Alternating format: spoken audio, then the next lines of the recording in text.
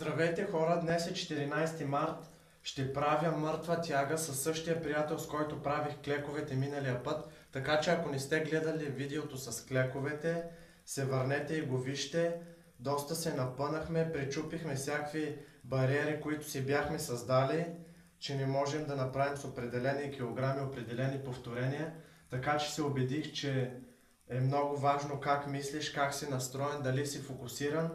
Така че този път отново ще я правим пирамидално. Ще започнем от леко и ще стигнем до макса. Ще се опитам отново да направя с двойно на моите килограми едно повторение. Тоест аз съм 70 кг, с 140 ще се опитам да направя едно повторение. Ако успея, ще е доста добро постижение лично за мен. И отново ще докажа на себе си, че начина на мислене е много важен и самия човек си поставя бариери, вреди сам на себе си. Така че гледайте клипа, ще ви хареса и ще се видим в фитнеса. Добре хора, ето е тренировката за гръб. Общо взето само мъртва тяга. Отново, както ви казах, ще я правим пирамидално. Това е първата серия с две 20, тези сините са 20, той е 60 кг. Решихме да загреем с 60. Направихме по десетина повторения и както казах, започваме да качваме килограми, докато стигнем до макса. Както ви казах в миналото видео с клековете, клекнах с двойно на килограмите ми, т.е. 140 кг. Надявам се и този път да успея с толкова да направя едно повторение. Ще разберете по-късно в клипа. Всъщност не сме двама, а бяхме трима. Ето го и другия ми приятел.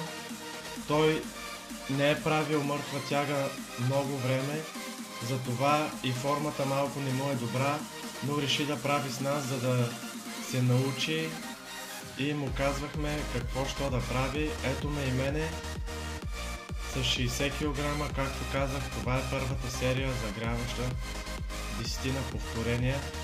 Купихме си тебишири, защото на по-тежката серия без фитили ръцете се потът и лоста се хлъзга. А тебиширите помагат за тази работа. Надявам се, че знаете. Ето и втората серия. Сложихме още едни 15 т.е. килограмите вече са 90. Това е първата работна серия с 90 кг. Отново направихме към 8 пъти. Мисля, че от, от 8 до 10 беше целта. Всеки прави колкото може. Ето го и това момче. Както виждате не е перфектна формата, но нормално е той в момента се учи. Задника му стърчи малко нагоре, както виждате трябва да го пуска по-надолу и да изтласква с краката повече. Да не мърда толкова кръста.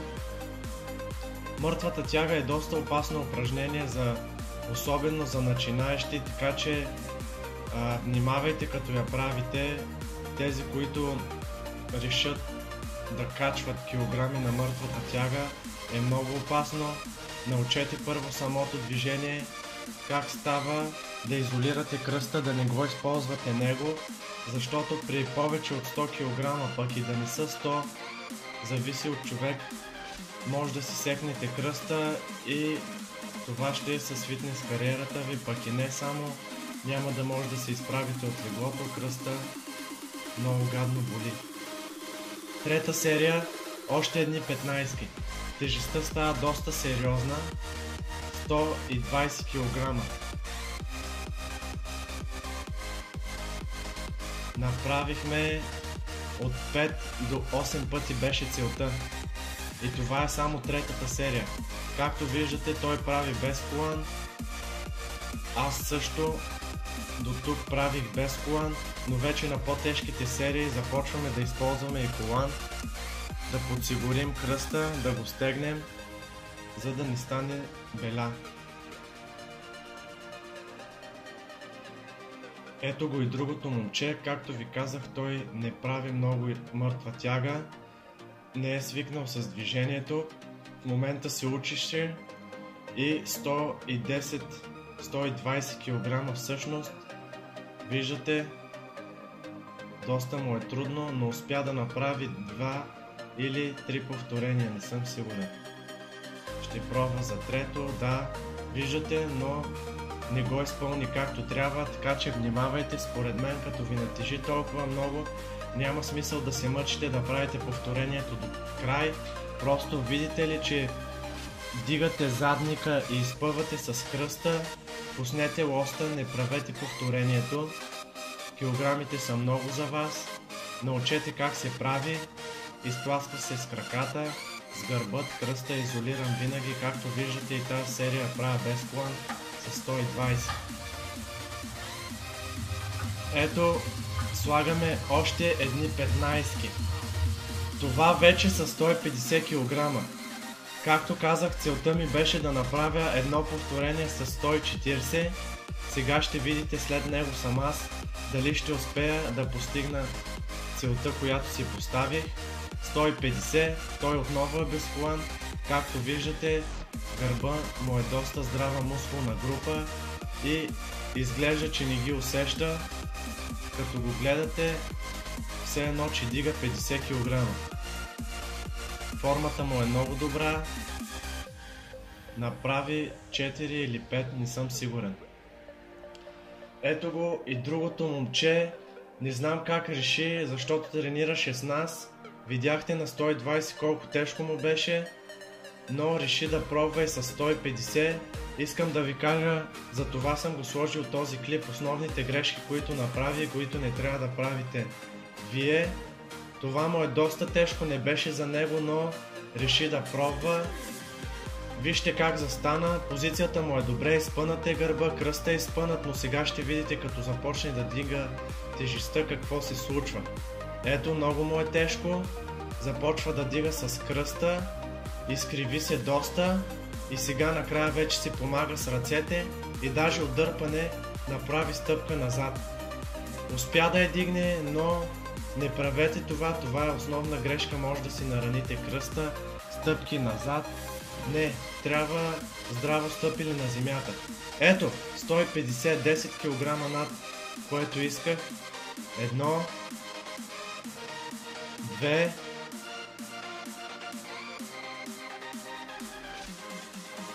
три, три повторения. Пробвам за четвърто. Успях. Хора, успях да направя с 10 кг над целта ми и то не е едно повторение, а успях да направя 4 доста бях доволен, надъхах се, както виждате. Добавихме още едни 15 килограмите, станаха 180. Той вече се служи колан, както виждате, 180 е много, много сериозна тежест. Вижте какво прави сега. Как ги дига, забележете формата му, как се изпълнява упражнението. Едно повторение изглежда му лесно. Много се надъхах след 150, както вече казах, и реших да пробвам с 180 с неговите килограми. Надъхах се и от него, видя го как ги прави и изглеждаше лесно, но вижте какво стана с 180. Първи опит ни стана и след това опитах за втори път, отлепиха леко, но кръста, тръгнах да дигам с кръста и не можах да дигна 180. Малко бях разочарован, но няма нищо хора, не го приемайте лично, случват се и такива неща.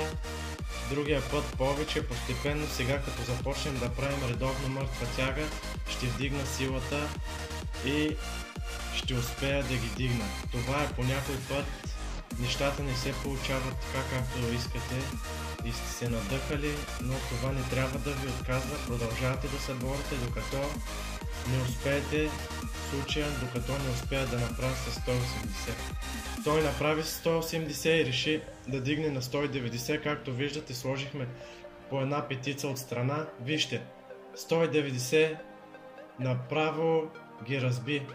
Все едно, че нищо не вдига. Много е здрав на гърба, много е здрав на мъртва тяга. Видяхте в началото, като позирахме как изглеждат гърбовете ни, неговия е направо брутален.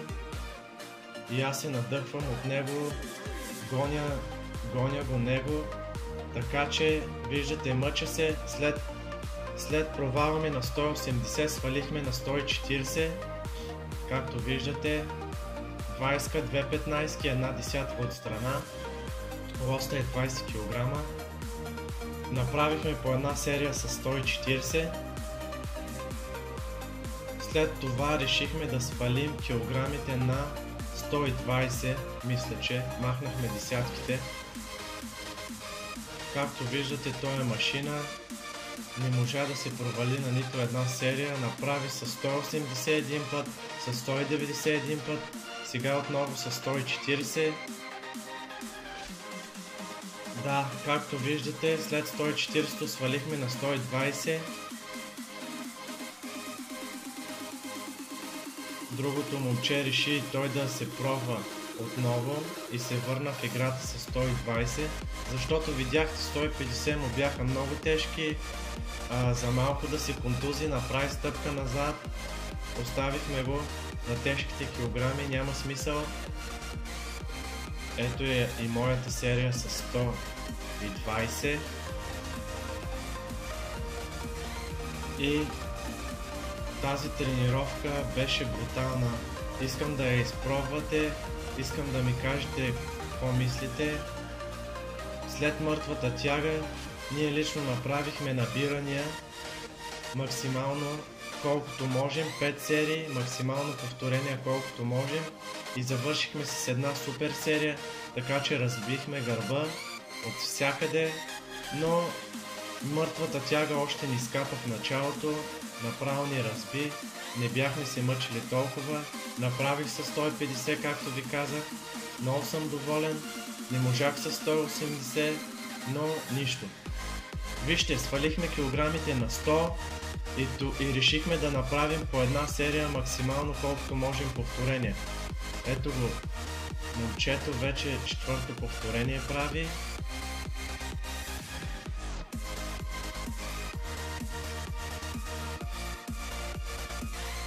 Както виждате, формата не му е перфектна.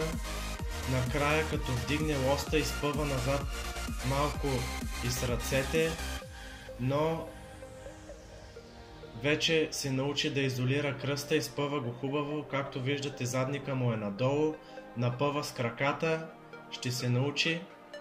Това беше неговата серия, максимално повторение, не съм ги броил. И сега като коментирах също не ги броя, не знам колко е направил. Ето още се раздава максимално колкото можем. Това е серията. След 6-7 серии при положение, че сме качвали до максимални килограми и след това наобратно, тази серия направо скапва положението. Ето е неговата, вижте му формата, 100 кг все едно, че не ги усеща. Това е формата, е много важна при мъртвата тяга, как изпълнявате самото упражнение. Вижте, неговата е много добра. Вижте какво прави с 100 кг. Направо все едно, че не ги усеща, а всъщност 100 кг са си тежест. Той май успя да направи най-много повторения и ни победи всичките, но такова е положението. Всеки се раздава лично колкото може и колкото енергия има със себе си. Не трябва да се сравнявате с никой друг. Само трябва да се сравнявате с, с себе си, да бъдете по-добра версия на себе си, всеки ден да надграждате себе си, да видите вашите грешки, вашите слаби места, да наблягате на тях. Ако започнете да се сравнявате с другите, това е огромна грешка. Така мисля аз. Така че, ето, мисля, че вече направи над 16-17 повторения. Но всъщност той можеше и още, но ето още няколко повторения. Направо на максимум се раздаде. И мисля, че краката също го схванаха тук. Дай